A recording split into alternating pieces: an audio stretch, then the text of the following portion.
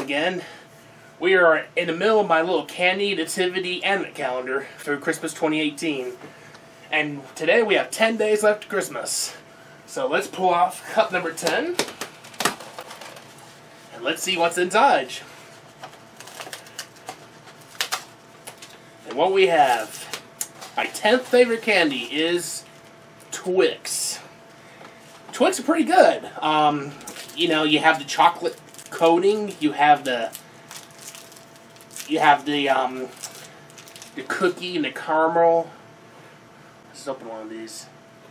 Oh yeah, see see the caramel just flipping like that? Look at that. Mmm. Mmm. Mmm. The caramel and the cookie and the chocolate together it's just one tasty candy. Mmm.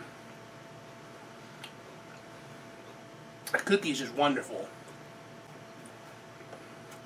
Having chocolate and cookie together is always a great combination. Mmm. Mmm. Mmm. And what's up with this right Twix and left Twix thing? I just, what's the point of that? It's the same thing. Are they trying to divide candy too, like the politics divide this country? I don't know. So there it is, the Twix. It's my 10th favorite candy of all time. So what's my ninth favorite candy? Tune in tomorrow and you find out.